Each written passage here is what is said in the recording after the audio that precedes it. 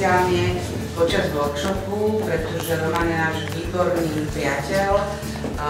Myslím si, že je to pán fotograf, ktorý je niekoľkonásobný vítač Čech pre foto, Slovak pre foto. Keď, dosud, keď už dosúťažil,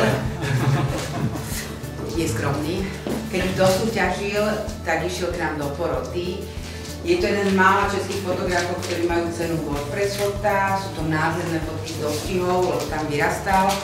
A vlastne tá naša komunita je taká, že keď chodím ja do Prahy, tak my tak spolu existujeme a to isté je teraz. Um, tieto fotky robil počas svojej pracovnej cesty a myslím si, že každý má možnosť sa s ním porozprávať. Pre nás je to nielen výborný fotograf, ale v prvom rade skvelý človek a ja by som mu dala slovo. Dobrý večer všem. Já eh, si moc vážím Jarkyních slov a eh, jsem velmi rád, že nás spojí tak dlouholeté přátelství.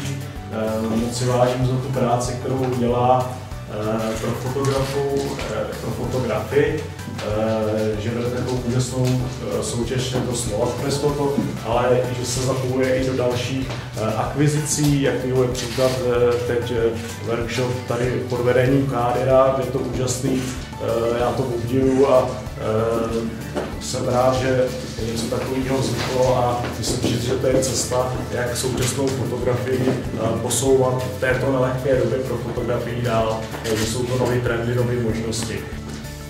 Dovolte ještě pár slov těm fotografiím, eh, jenom ve stručnosti. Eh, jsou to vlastně, jak už zmínila eh, tady Jana, že fotografie z pracovní cesty z odřezení olympiády Pekingu. Samozřejmě ty fotky vznikly během 14 dnů a tady jsem připravil, nebo tady jsme společně připravili výběr fotografií ze dvou částí. Jedna část je teda tady vedle, která spojuje takový prostě to covidový, eh, ten covidový, eh, to covidový období, které bylo svým způsobem eh, nezvyklý až trošku jakoby absurdní a doufejme teda, že už je za námi.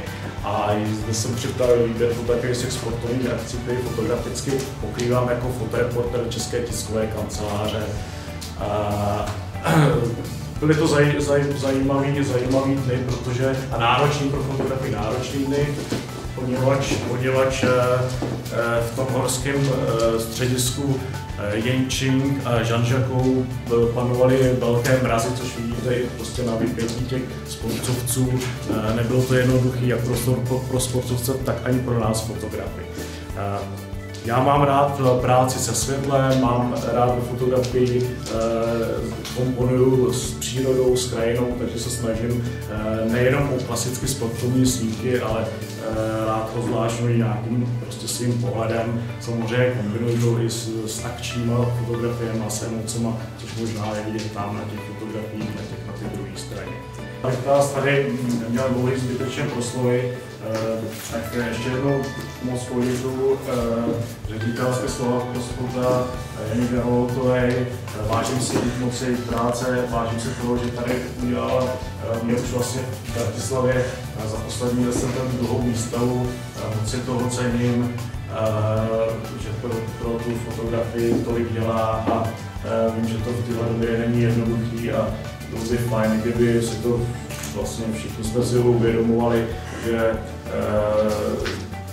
věnovat se fotce, profesionálně se jí věnovat, dá spoustě úsilí a moc krát děkuji a děkuji i vám, že eh, všem účastníkům workshopu, že jste si našli čas eh, přijít se podívat na ty fotografie.